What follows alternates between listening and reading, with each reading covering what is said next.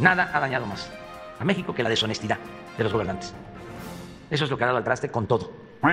Bueno, eh, dicho esto, cuando se habla del modelo neoliberal, yo he llegado a sostener que si el modelo neoliberal se aplicara sin corrupción, no sería del todo malo.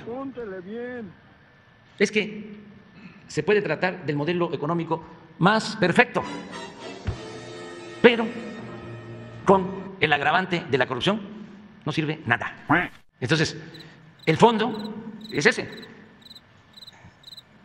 el que impera la corrupción, impera la corrupción.